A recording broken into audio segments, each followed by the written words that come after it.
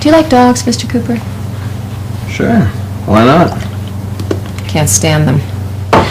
I only agreed to let my mother have that one because I thought she should have something in her life besides me.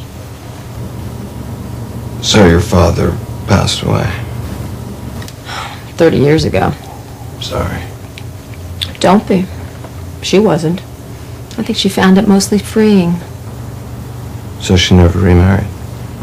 Never wanted to. Although she was still quite an attractive lady, she never even went out on a date. I just don't think she liked sex all that much.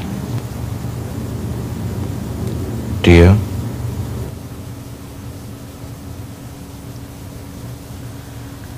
Don't let your coffee get cold, Mr. Cooper.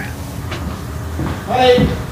Uh, You know, long. that was a little That too was early. my fault. I missed out. I heard your call.